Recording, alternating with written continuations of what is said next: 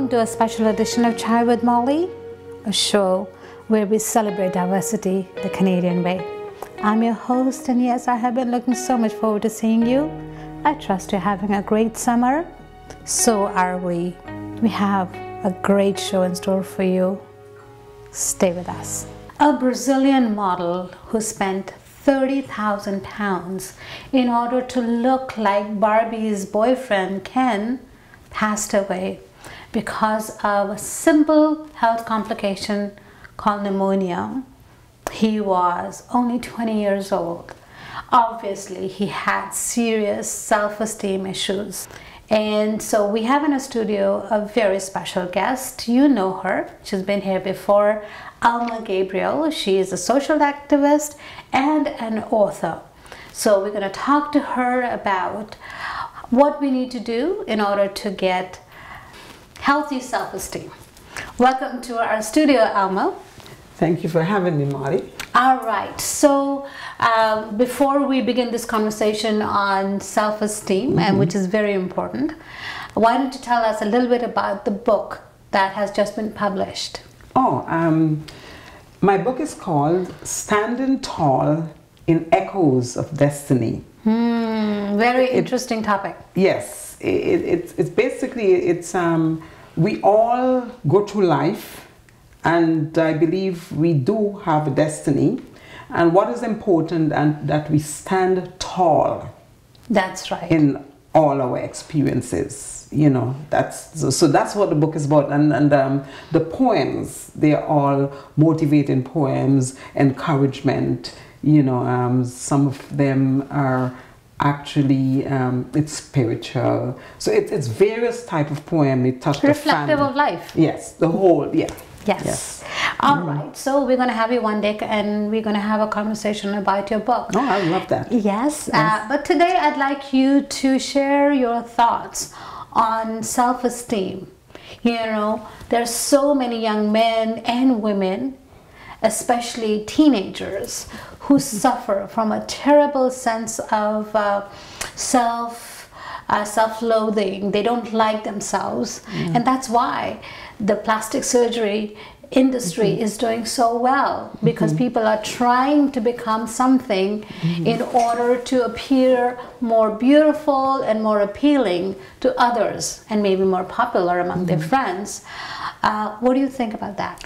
You know, it's, it's a problem of um, contentment. It's a problem of, of, of liking or loving yourself. But, but where, where do, you, do you begin? You know, um, if your mentors or the representation or the leaders and, and all the persons that you look up to, the, the teachers and so on, they're actually, you know, not happy with themselves also. So so we follow examples.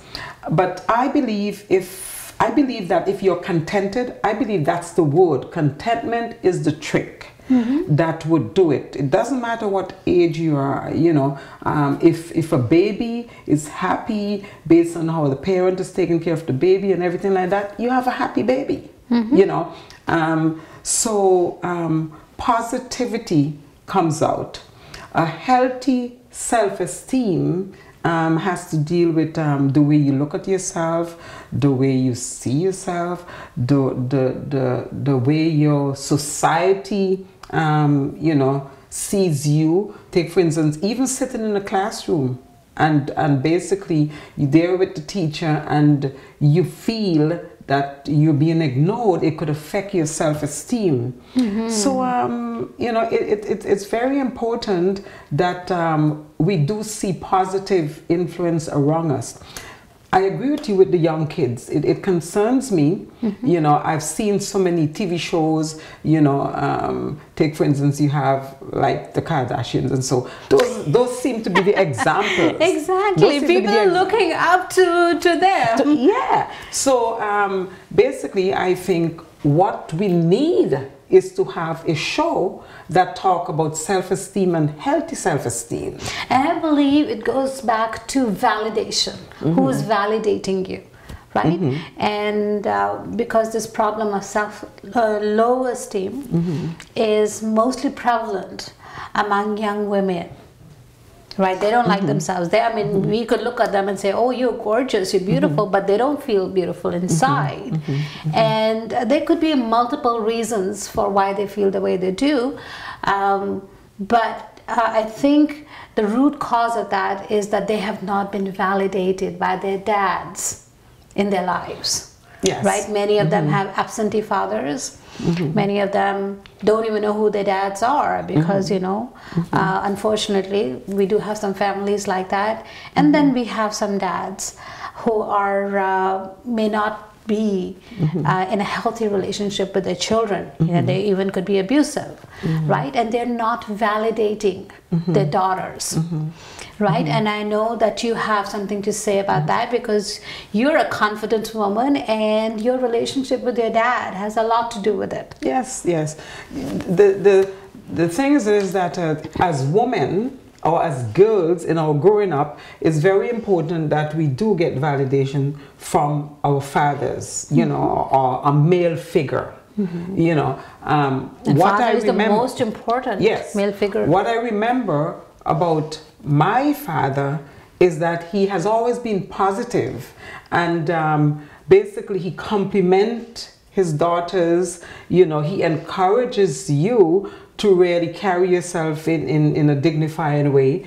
And um, in, in those days, some fathers did not see it um, necessary for their daughters to enter for competition. But my father approved, you know, going into contest competitions and so. And today I can say, um, because of, of his approval, it has added a lot of self-esteem to my life you know.